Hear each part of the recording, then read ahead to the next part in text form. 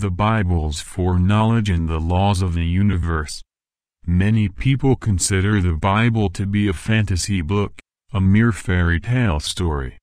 But is this true?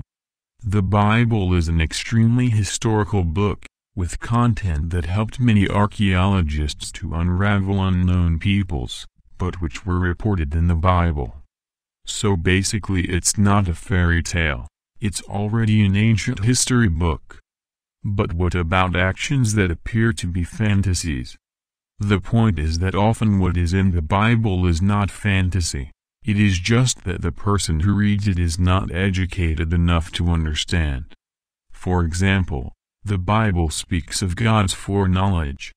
Foreknowledge comes from the Greek word prognosis, which means foreknowledge. This means that for God it is possible to know things before they happen. Some people consider this to be a fantasy. It couldn't exist. Is it true?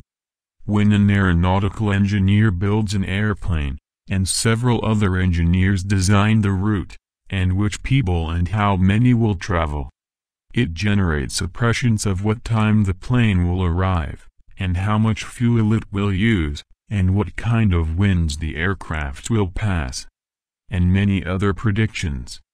Prediction accuracy is closely linked to the amount of information engineers have. When doing a survey, the accuracy of success is closely linked to the number of people who were surveyed. And such actions are a prediction for the future. As such, it is entirely logical and acceptable that foreknowledge is possible. And it's a natural attempt in our modern world. Thus, this universe is developed to form predictions that depend on foreknowledge. And satellites, cell phones, and other equipment rely on predictions that must be extremely accurate. So to say that foreknowledge is something impossible, only for those who seek to ignore reality. So, God being prescient is something extremely rational. If you are looking for more content from different areas, visit the reformadorstasad.com website. News and detailed content can be found with system of research and organization of text and video.